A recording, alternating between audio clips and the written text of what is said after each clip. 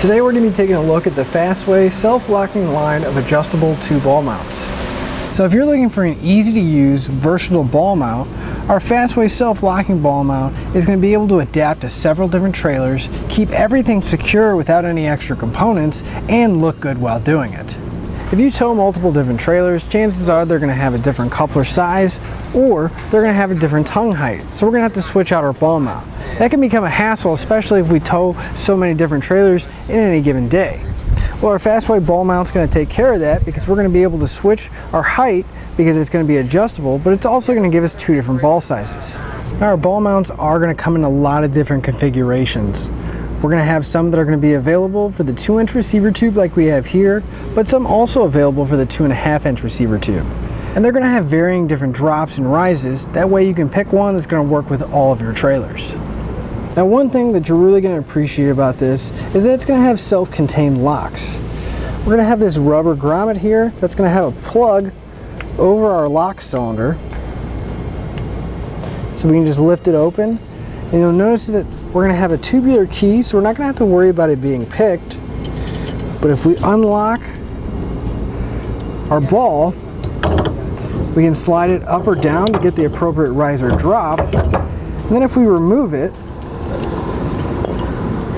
you'll notice that we're going to have another lock core right on the base here. Now this is going to be used so we can lock our ball mount directly to the receiver tube. And if you watch, you can notice that the pins are going to go in. So we're not going to have to worry about losing our lock because it's going to be self-contained inside the ball mount. So we can simply just slide our ball mount in place, line up the pinholes, and then rotate our key until those pins extend out. And you can see that's not going anywhere. So we'll make sure that pin's in all the way. And then slide our ball mount on. Then we can rotate the key until we get into the slot and it'll lock it in place. Now our ball mount's not going to go anywhere and we're not going to have to worry about anybody stealing it from our receiver or taking the ball platform. And for extra peace of mind, to make sure that you have the ball mount in the correct spot and it isn't just hung up, the key itself is not going to come out until it's fully in the locked position. So even if I get it halfway and the key is turned, it's still not going to come out because that pin hasn't fully inserted. But once it does, the key will come out. Each one of these notches in our ball mount here is going to be in one inch increments. So right now we have it in the rise position, and if we need to go up say two inches, we can just go up two notches and that'll give us that two inch rise. And the same thing if we were going down in the drop position. Each one of our ball mounts is going to come with a total of four keys and both sets of keys are going to work with both the locks. With the locks being right on front of the shank here and on the side of the ball platform, it's going to make it a lot easier than trying to get underneath the hitch here, messing with the pin and clip or a locking device, and it's one less thing that we have to worry about misplacing. Because our locks are going to be internal and they're going to be sealed off from any kind of dirt or debris, so we don't have to worry about them getting damaged. Each one of our ball mounts is going to be made out of a solid piece of aircraft grade aluminum so we're not going to have to worry about any weak points because there's no welds in them to break. So they're going to be nice and strong and durable, but yet lighter weight than steel versions.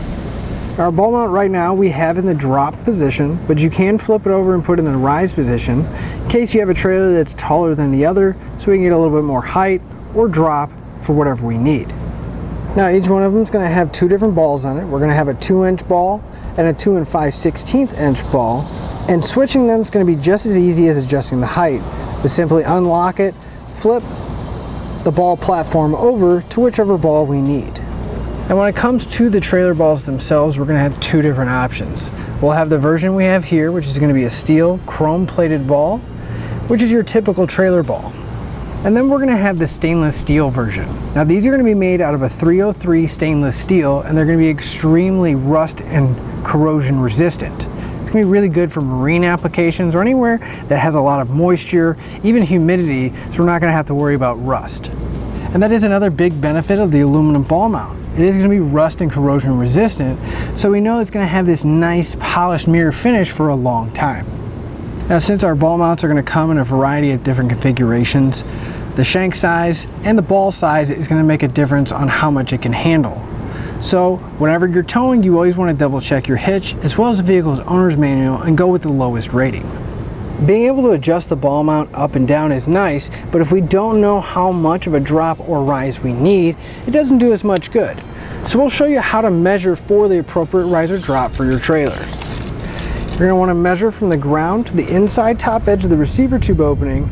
You want to make sure that your towed vehicle is nice and flat and on a level ground whenever you make your measurement. So right here, we're getting right about 17 inches. Now we can come to our trailer, and again, you want to make sure your trailer is nice and level.